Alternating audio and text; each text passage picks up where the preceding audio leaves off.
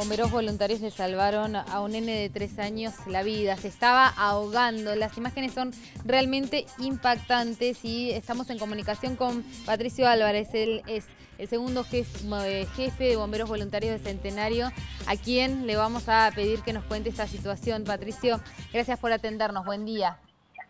¿Qué tal? Buen día. Buen día para todos ustedes. ¿Cómo están? Muy bien, bueno, realmente desesperante la situación, uno cuando puede ver este video em, le genera como un poco de, reacción acerca de, bueno, yo cómo hubiese actuado, menos mal que estaban los bomberos, todos, todos este tipo de comentarios. Quiero que vos relates cómo fue el momento eh, de la llegada de estos papás que estaban desesperados porque su hijito se estaba ahogando. Bueno, aquí el personal de bomberos el sábado por la tarde, aproximadamente entre las ocho y media y las nueve de la noche, estaba ya terminando de realizar todo lo que es el orden de los materiales, teniendo en cuenta de que tuvimos una jornada de varios incendios en la ciudad. Y bueno, fue en ese momento que en la guardia eh, la puerta se abrió repentinamente para, bueno, escuchar los gritos de una madre que solicitaba ayuda, que eh, mencionaba de que su hijo se estaba, que estaba ahogado, producto de que había estado comiendo, eh, y detrás venía, en este caso, el padre eh, con el niño en brazos. Inmediatamente fue recibido por, por mis compañeros en la puerta de la guardia, quienes comenzaron con las maniobras de desobstrucción de la, de la vía aérea, luego lo ingresaron a la parte interna de, nuestro cuartel para seguir atendiéndolo. fue allí que en una segunda maniobra de desobstrucción, eh, bueno, el niño empezó a llorar y bueno, ese es el, el mejor de los síntomas en cuanto a lo que tiene que ver con una desobstrucción, teniendo en cuenta que si comienza a hacerlo es porque hay ingreso de, aire. De allí lo calmamos a, este niño de tan solo tres años, de nombre Aarón, y bueno, ya simplemente fue una anécdota en cuanto a lo que tiene que ver con esta situación, que obviamente no es para nada linda, teniendo en cuenta de, la, de lo choqueante para su madre, que había inclusive tratado de, de obstruirle la vía aérea metiéndole los dedos en la boca, por eso Aarón tenía también mucha sangre eh, en su boca. Ah. Pero bueno, eh, lo calmamos eh, y bueno, luego de un par de minutos se fue con, su madre.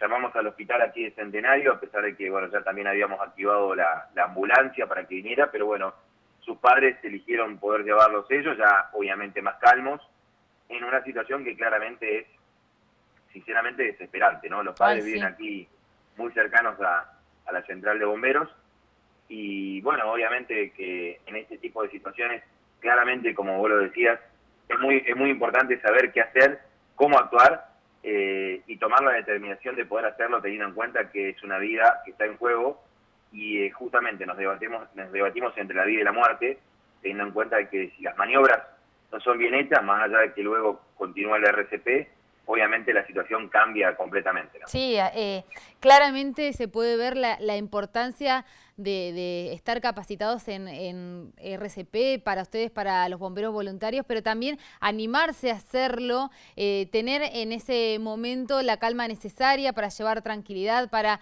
accionar. Bueno, imagino que, ustedes deben tener práctica, pero al momento de, que una madre ingresa de esta forma, eh, me imagino también las sensaciones de ustedes. Claro, sí, totalmente.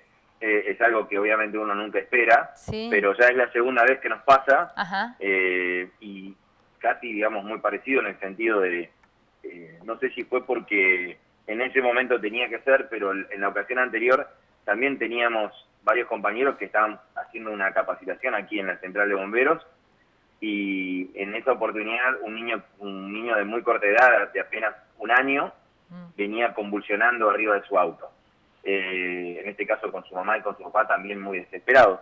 Pero en el caso puntual de lo del pasado sábado, eh, bueno, fue realmente sí, muy movilizador, teniendo en cuenta también de los conceptos que, se vierten en las capacitaciones y de lo que muchas veces mis compañeros en algunos de los casos no, no se habían visto en, la vida real y que obviamente no hacen más que reafirmar de que la capacitación para los bomberos es muy importante, pero no solamente para los bomberos, para todas las personas que deciden eh, tener conocimientos básicos, o por lo menos de los que pueden ser muy importantes para ayudar y salvarle la vida a una persona, en este caso hoy a un niño de tres años.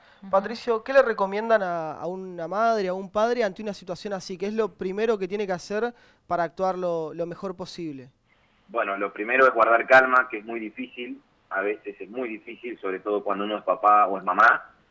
Eh, las maniobras de desobstrucción en los pediátricos se realizan con cinco golpes en la espalda y luego cinco compresiones, en este caso en el pecho para esto hay que tener una práctica, hay que adquirir conocimientos.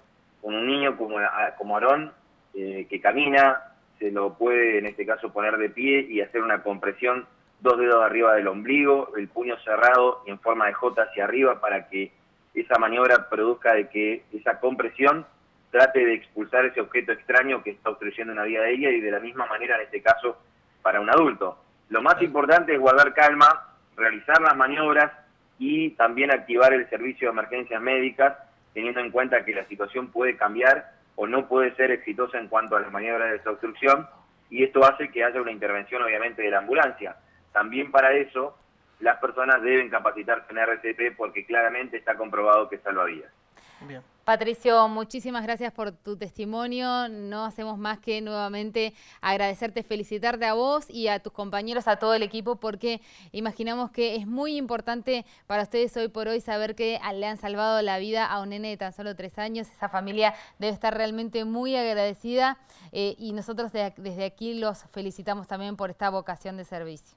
Bueno, les agradezco muchísimo el contacto. Eh, abrazamos y saludamos a todos los colegas bomberos de la provincia de Río Negro y también de Neuquén.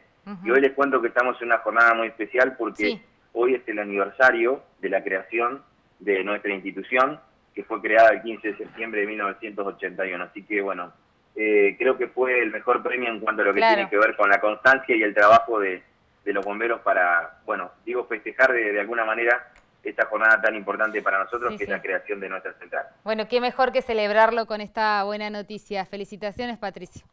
Muchas gracias a ustedes, que tengan un buen día. Chao, chao.